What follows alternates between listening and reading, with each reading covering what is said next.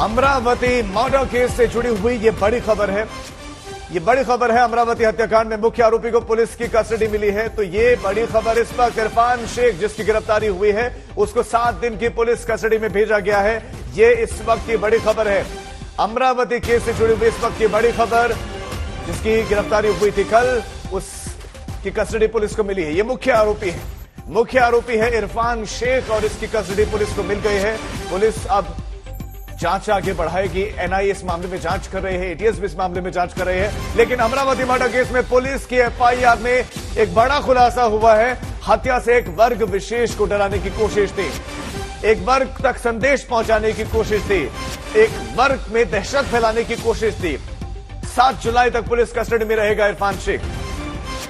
इरफान शेख से पूछताछ होगी, लेकिन यह भी कि बड़ी खबर यह है कि मुख्य आरोपी को पुलिस कस्टडी तो मिल गई, लेकिन साथ ही साथ खुलासा ये हुआ है कि मकसद था एक वर्ग विशेष दर्ज जाए